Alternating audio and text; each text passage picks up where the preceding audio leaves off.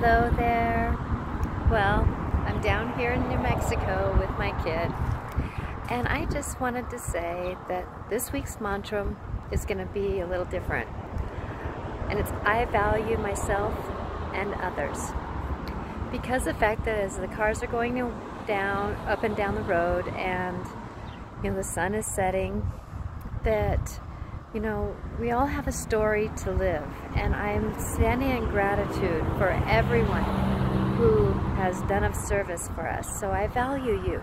I value the, the story that you have. I value everything that you've done in the generations past. Oh my gosh, the generations of the past.